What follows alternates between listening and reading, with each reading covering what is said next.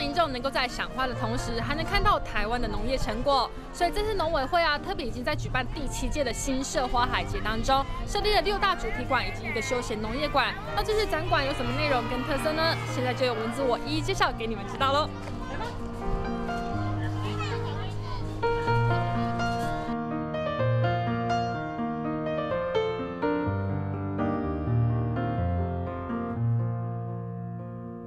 现在蚊子我是在幸福梦想馆，那这个馆最主要是要提供什么资讯呢，还是特色给观众朋友呢？我也不知道啊。所以啊，我们就要邀请我们美丽的小天使来为大家解答啦。Hello，罗小姐。Hello。我想请问一下哦，我们这个幸福梦想馆啊，我们最主要想要呈现的东西是什么呢？嗯，那就由我来为大家解答一下好啊。我们幸福梦想馆呢，是五十三个在新社逐梦的店家一起建造而成的。三个。对，所以其实你们来到幸福梦想馆呢，可以看到我们新社所有五十三家优良店家的各家的特色。哦，所以是把每一个的店家全部集中在这里。对。哇，所以来一次就可以知道喽。对，而且我们新社呢又有。在推广幸福期限，所以如如果你不晓得五十三家怎么玩的话，欢迎你来我们幸福梦想馆，就可以看到各家的特色喽。而且我发现它好像每个路线都是用颜色来区分，是不是？对，所以你在新社呢，如果你看到路上看到什么颜色的电线杆，就知道你走到哪一线了。很贴心有没有？而且还不会迷路哎。所以那个观众朋友，你来到新社不知道怎么玩的时候，就先来到幸福梦想馆，我们美丽的罗小姐就会告诉你说，来到新社有哪里好吃、好玩、好去的地方喽。没错，然后它是很非常耐旱的，所以其实它不用种东西。以自然花草的意象融合并串联新社地区的各项产业，馆内摆设了许多花艺的装置，结合香菇生态、各家业者的美景图片。馆外呢，则有设置了七大颜色路线图的旗帜，让游客一来到这里，就可以轻轻松松、简简单单的了解新社。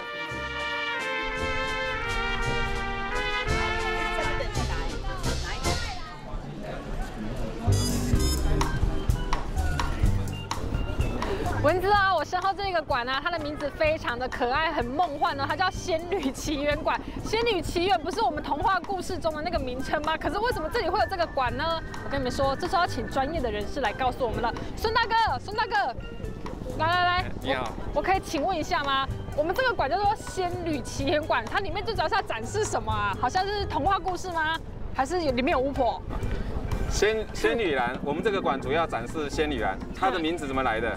它是那个仙女的鞋子或拖鞋组成的，所以叫做那个仙女蓝。哦，所以才会用仙女奇缘，就是比较梦幻的那个名称就对了。我们希望说这个馆能够用仙杜拉的这种梦幻的童话故事，尽可能的展现出现在有那个仙女兰多样性的那个花卉的那个色彩，给一般的民众看，让他们除了认识说这些品种都是我们台湾育成的以外，我们也预测将来这些品种有机很有机会会在那个世界上帮我们那个台湾创造那个奇迹，跟蝴蝶兰能够并驾齐驱的那个产值出来。这个充满浪漫童话故事的馆区，主要是在介绍兰花啦。而台湾的新兴兰花仙女兰，观众朋友大家可不能小看它哦，因为这仙女兰呐，不论是在品种创新与种苗外销的数量，可都是世界第一哦。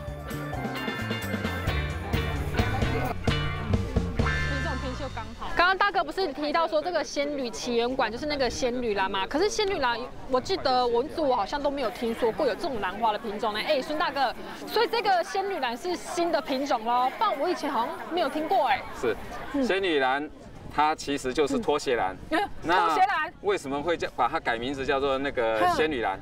因为拖鞋兰的那个名字哈，虽然亲切，但是呢，感觉比较俗。比较怂，好，好像没那个价值感。对对对，它的价格，仙女兰一般的价格比蝴蝶兰高很多，所以如果说把它取名叫拖鞋兰，没办法凸显出它的价值。所以我们那个拖鞋兰协会以前是台湾拖鞋兰协会，也把它改名字是台湾仙女兰协会。而且它就是改了名字之后，你感觉它整个价值都提升了，是是，然后就觉得那个花好像无形当中也变得比较漂亮。对对对。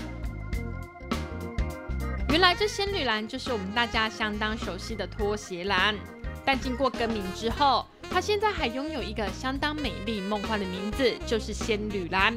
而这兰花的品种相当多元，有百年好合意思的金童玉女，还有那长得很像卡通人物的小青蛙。因为现在这个季节啊，并不是仙女兰开花的季节，但是大哥他们非常贴心哦，他们为了让游客可以来到这边可以看到各种的花卉嘛，所以他就把这个有没有照片全部贴在后面，然后这样游客来的时候就可以透过这些图片知道说，哎，台湾有哪几种的兰花。可是大哥，像你说这些八十几种嘛，对不对？这些仙女兰是我们台湾特有的原生种吗？是，嗯，仙女兰的那个原生种，没有一株是发源在我们台湾，没有一株是在台湾，是。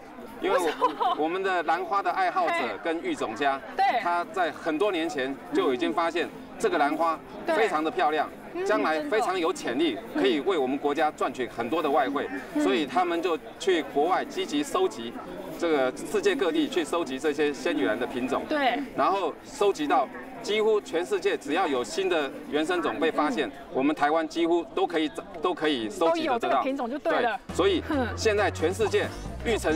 仙女兰的新品种最多的国家在哪里？在台湾。在台湾，出口最多的国家在哪里？在台湾。所以这是一个非常有趣的那个农业奇迹，有没有？它没有一个原生种是在台湾，但是却在台湾发扬光大。所以这也显示是说，我们台湾的农业的技术真是非常了得哦。是。来到这个馆，除了可以看到兰花的繁殖过程之外，还有外销流程以及居家布置等等的要令。让观众朋友可以透过这个馆，轻易的了解到仙女兰的美与它的价值，同时也让我们看到台湾的农业奇迹。刚刚温子我已经参观过我们每一个主题区，也看过我们的花坛呐，跟我们的花海哦，哇，真的是很漂亮，美不胜收哎。可是我逛啊逛啊逛，逛到这个地方，让我觉得很奇怪，它是那个什么休闲农业区，奇怪，我们不是要介绍花吗？怎么会有这个农业？主秘啊，你干丢丢，绝对是对的。怎么会？怎么在花海里面会有个农业区啊？哎，大家都知道，我们今年是合并的大台中市的第一年哦，对对对。我们今年也把我们那个国际花坛节跟我们新设的花海节合并在一起，也是第一次。那其实这都是我们农业的范围哈，那我们这次就在这个地方哈，特别成立一个乐活耕院馆哈，介绍我们台中市的五大休闲农业区，然后把它行销出去这样子。因为我们这个新社花海节大概每年这几年呢，大概都超过一百万的人口，很吓人。哎，举办的时间大概就有限哈，那希望说大家对我们这五大休闲农业区都有印象哦。只要来一趟这里就可以看到说我们整个台大台中市的那里好玩的好吃的东西，对不对？对对。以三合院的造型营造出怀旧复古的感受，搭配客家花布及蓝山的视觉意象，结合影音的播放，并展示五大休闲农业区的农特产品，让游客一来到这里，就可以轻易的了解到台中各地的特色，进而在往后的时间逐一安排前来旅游畅游大台中。主秘，像我们这个展区，我们最主要是展出的东西有哪一些啊？有哪些哈？我们是以那个大家看到的话，我们就等一下可以看一下哈，就是乐活耕院，对，耕哈就是耕作的耕，对不对？耕田的耕哈。然后我们就有以，因为山城这边就是石冈、东市、和平这边，大概就是我们的新城哈，那个山城，那以客家人为主，所以我们就以那个客家的元素，客家元素大概就是三合院啊，红花布啊，来把它。哎，那我们这边有展示我们这五个休闲农业区各个的特色，像我们那个大甲将士的故乡哈，有一个老将。匠师哦，在那编辑那个现场吗？对，大甲那印草哦，那真的是国宝级的新传奖的这样子哦，来教大家。因为我觉得我们农村这些文化呢，逐渐在流失，那希望借由我们这种院的那种呈现哈，让大家找回这一些。那其实那都是我们的文化，我们的根。所以啊，来到花海节跟花坛节，其实你不只是可以看那花，或是然后或是说买一些农特产品，你还可以欣赏到我们一些文化的东西，对不对？是，相当的有意义耶。那我们在那边看到的是雨量桶，雨量桶就是说，譬如说这里呀，下雨下。到三百 A 可能就会有土石流下来了，那我们的房子，哎，真的可以耶！哎，真的可以，它就是可以这样子来体验哈。我们现在这一台啊，我想那个老一辈的没有，应该都还蛮熟悉这一台，可是年轻一辈不一定知道呢。祖秘，这台叫什么？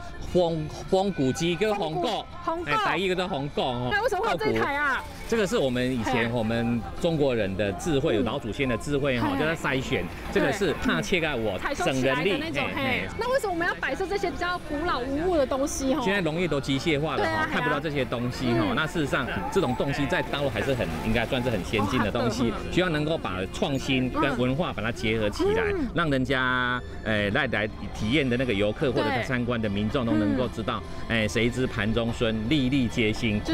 老祖先那时候的道理就。就对了。而且我看那边好像还有什么 DIY 体验区哦，是，那是做什么的？像我们那边的体验区，在用我们竹子，台中市有很多以前的麻竹笋、立竹笋，它每年都要疏滑，那我们就疏滑的不浪费，除了做柴烧之外，对不对？它来做成编织很多的农村用具。那我们去体验一下，看怎么做好不好？走啊，那准备我们过去那边。好。在活动期间呢，每天安排的 DIY 体验都不一样，所以不论游客你们什么时候来，都可以有不同的感受。像蚊子，我今天做的就是传统的竹编工艺。观众朋友，你们看我做的这么津津有味，就知道这体验多有趣了吧？对吗？好听起啊！抓罗鸡，嘿，抓罗鸡，嘿，那我们乡下的牛车，你看我们的牛车，把带到我们的场馆来，好可爱哦。小姐有需要服务吗？哦，大哥你好，打扰着你。哦，大哥你对这个馆很熟悉是不是？是这个馆是我们负责布置的。